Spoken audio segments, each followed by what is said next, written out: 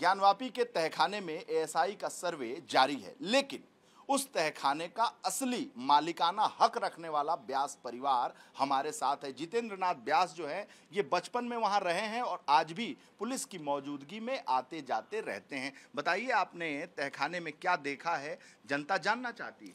जी, उसमें तो पहले रामायण की बात बलिया रखाती है अंदर जो है, और उसमें बहुत ही टूटी फूटी मूर्तियाँ रखी हुई हैं। उसमें मगरमच्छ की आकृति मूर्ति है, उसमें तसूल भी बना हुआ है और कमल की आकृति भी है और उसमें खंभे जो है पुराने ढंग के ही लगे हुए हैं जैसे मंदिर में रहते थे।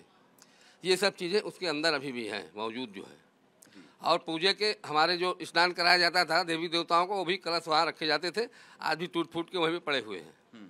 चौघड़िया है ये सब चीज़ें हैं पूजा की। स्थान की वो सब वहाँ रखी जाती है। रखी जाती है। जी। राडार तकनीक से एक वहाँ पर मिट्टी का ढेर सा है। राडार तकनीक लगा के उसे चेक किया जा रहा है तो ऐसा माना जा रहा है कि बहुत सारे पिंड बहुत सारी मूर्तियाँ अभी भी दबी हुई हैं उसमें। बिल्कुल दबी हुई है बहुत से और निकलेंगे अभी भी अवशेष जो है वहाँ पर। वहाँ पर और भी खुदाई होगी जो भी हो रहा है राडार से। तो वो बहुत से वहाँ पर अवशेष निकलेंगे ऐसा नहीं क्योंकि आगे सिंगार गौरी का मंदिर भी है। तो अवशेष तो निकलना ही निकलना है। पीछे उसी के आगे जो है सिंगार गौरी का भी प्रतिमा है।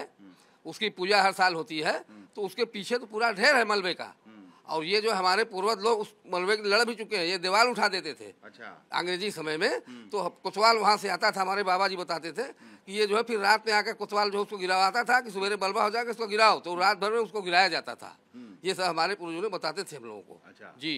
अच्छा। उसी का मलबा ढेर है पीछे। अच्छा। और उसके नीचे बहुत सी अवशेष मूर्तियाँ ये सब जो है दबी हुई हैं हाँ, जी। दीवाल हैं दीवाल पे भी कुछ आकृतियाँ हैं? हाँ हाँ उसमें भी स्वास्तिक जैसे बना है त्रिशूल है जैसे कमल के निशान ये सब चीज़ बने हुए हैं। हिंदू धर्म चिन्हों की बहुत सारी वहाँ पे प्रचुरता है। बिल्कुल है। और बता रहा हूँ मैं बाहर बहुत सी जो है वहाँ नहीं रख पाए थे हम लोग तो बाहर से नंदी जो है उसके पास बहुत सी पुरानी मूर्तियाँ जो है वहाँ की जितने परिसर की मूर्तियाँ थी मंदिर की वो पुराने जो चल रहा है आदि विशेश्वर का बहुत सी मूर्तियाँ खंडित वहाँ पर पड़ी हुई थी। ये विश्वनाथ मंदिर के प्रशासन ने उसको वहाँ से हटवा दिया।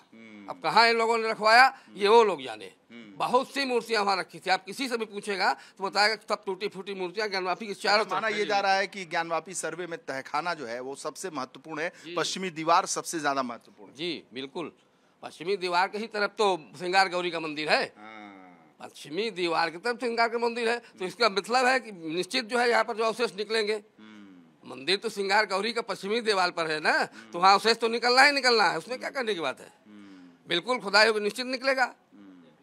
और वहाँ कई फाटक थे, एक फाटक थोड़ी थे। पश्चिमी दीवार का था, फिर उधर पीछे उसके फाटक था, फिर उसके इधर फाटक था। आप देखिए, पूरा निशान बना हुआ है पीछे। कई फाटक थे वहाँ, आने जाने के लिए, बाहर निकलने के लिए। बड़े बड़े फाटक थे पहले जो है। वो सवार भी है वहाँ पर, जो है पीछे से आप देखिएगा तो सब दिखाई देगा पूरा जो है। अब उसका फ़ोटो लेके देखिए। ये जो सर्वे चल रहा है एसआई का आपको लग रहा है कि जो चीज़ें आपने देखा है जो चीज़ें महसूस किया है वो धीरे धीरे स्पष्ट हो जाएगी? बिल्कुल स्पष्ट होना चाहिए क्योंकि मंदिर तो था ही स्वयंभूलिंग का मंदिर स्वयंभूलिंग का मतलब क्या होता है? कि वहाँ विराजमान है शुरू से ही भगवान जो है। तो, तो स्वयंभूलिंग का मंदिर यही मतलब होता है कि स्वयं वहाँ पर हमेशा विराजमान है। जितेंद्र नाथ व्यास जो व्यास परिवार के सदस्य हैं और साथ ही साथ अपने पूरे अनुभवों को बता रहे हैं कि तहखाने का रहस्य क्या है। कैमरामैन प्रेम सिंह के साथ वीरेश पांडे।